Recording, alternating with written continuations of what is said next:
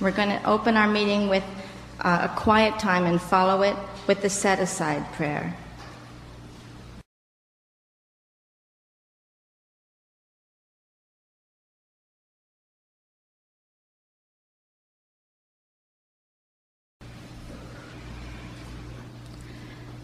God, please help me set aside everything I think I know about myself, the 12 steps, the big book, the meetings, my disease, and you, God, so I may have an open mind and a new experience with all these things.